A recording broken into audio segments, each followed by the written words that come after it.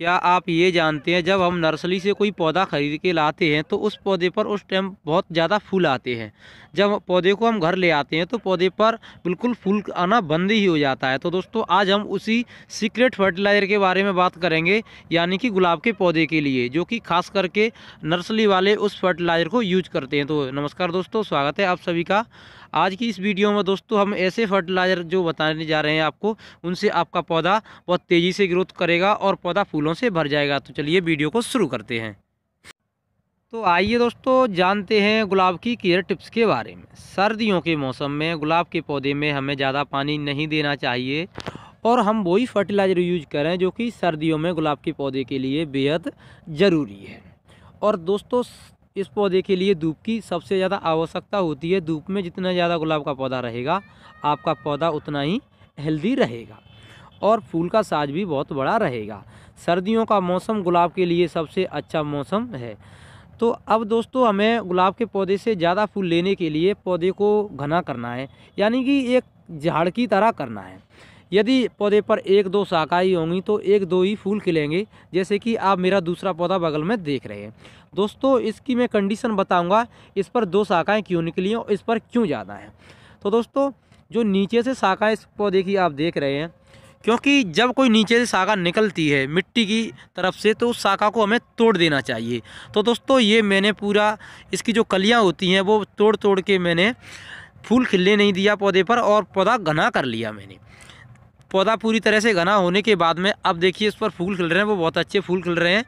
अब दूसरे पौधे की ओर बढ़ते हैं तो ये देखिए दोस्तों, यहाँ से जो नीचे से जो ग्रोथ कर रहा है पौधा, ये ग्रोथ गुलाब के पौधे के लिए बिल्कुल ठीक नहीं है। तो दोस्तों, यदि आप इस ग्रोथ को लेते हैं अपने पौधे से तो आपका पौधा आपको बिल्कुल फूल नहीं दे पाएगा और ना ही ग्रोथ कर पाएगा। केवल पूरी एनर्जी को वो पौधा अपनी इसी एक शाखा में लगा देगा। तो दोस्तों, आपको करना क्या है कि इस शाखा को अगर इस तरह से आपके पौधे पर है तो आपको उसे तोड़ देना है।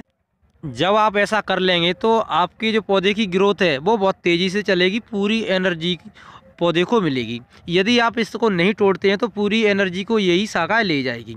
तो दोस्तों, और पौधे को घना करने के लिए आपको करना क्या है कि छोटे पौधे से बिल्कुल फूल नहीं लेने हैं, उसे थोड़ा और बड़ा होने दें। जब आप ऐसा कर लेंगे तो आपको जो अपडेट मिलेगा वो बहुत बेहतरीन अपडेट मिलेगा इस पौधे की तरह। और इस पर ग्रोथ भी बहुत अच्छे से निकल के आएगी। तो दोस्तों, आपको ये सबसे पहले काम करना है गुलाब के पौधे पर। जितने भी बट्स बने, उन्हें आप तोड़ते जाइए। जब ऐसा कर लेंगे तो आपका पौधा भी हेल्दी रहेगा। कुछ दिन बाद जो पौधा पूरी तरह से झाड़ बन जाएगा, पौधे में कई शाखा का चुनाव होगा। तो ये आपको सारी बातें ध्यान रखनी है। अब दोस्तों इसे हमें धूप भी दिखानी है और ज़्यादा पानी भी नहीं देना है। अब चलते हैं, जो फर्टिलाइज़र मैं आप लोगों को बताने जा रहा हूँ, खास करके इसे नर्सरी वाले यूज़ करते हैं अपने पौधों में। तो आज उसी फर्टिलाइज़र को मैं आपको बताऊँगा तो चलिए दोस्तों, उस फर्टिलाइज़र के बारे में अब हम जान लेते हैं।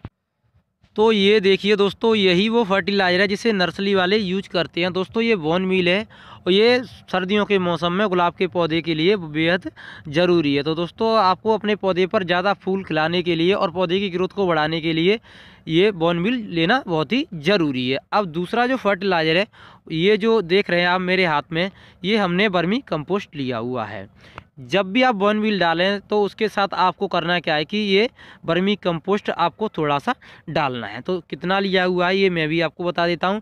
ये मैंने केवल पचास ग्राम बर्मी कंपोस्ट लिया हुआ है। मेरे पास दो पौधे हैं तो दोनों पौधों में पचास ग्राम बर्मी कंपोस्ट में डाल दूँगा।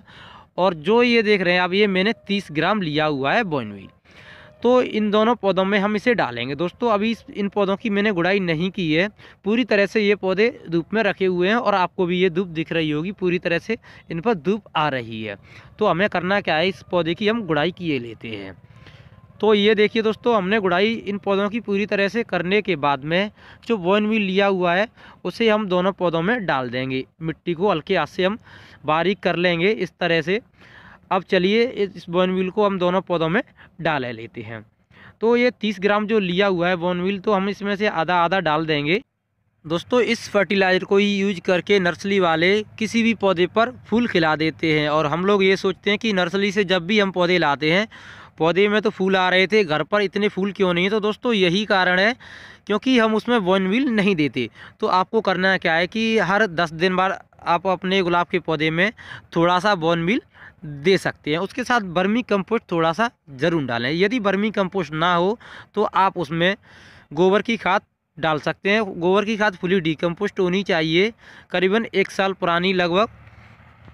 और यदि आप कच्ची गोबर की खाद डाल देंगे तो वो हमारे पौधे पर बिल्कुल काम नहीं करेगी। तो आपको ये विशेष ध्यान रखना है। तो चलिए जल्दी से अब इस बर्मी कंपोस्ट को इन दोनों पौधों में डालकर मैं तैयार किए देता हूँ। दोस्तों, वैसे नर्सरी वाले अपने पौधों पर केमिकल फर्टिलाइज़र भी यूज़ करते हैं, पर लेकिन दोस्तों, ये बिल्कुल ऑर्गेनिक फर्टिलाइज़र है, क्योंकि सर्दियों के मौसम में वो सबसे ज़्यादा बोन मिल ही यूज़ करते हैं। तो देखिए दोस्तों, मैंने यहाँ पर दोनों पौधे फर्टिलाइज़र डालकर तैयार अब कर दिए हैं। अब इसमें हम डाल देंगे ज़रूरत अनुसार पानी और पौधे को रख देंगे धूप में। तो दोस्तों, आपको हमारी आज की यह वीडियो कैसी लगी, आप हमें कमेंट करके बताइएगा ज़रूर। दोस्तों, अभी तक आपने हमारा चैनल सब्सक्राइब नहीं किया है तो आप हमारे इस चैनल को सब्सक्राइब करें, वीडियो को ज़्यादा से ज़्यादा लाइक और शेयर करें ताकि अन्य लोगों को ये जानकारी मिल पाए। अगली वीडियो में फिर मुलाकात होगी। Thank you.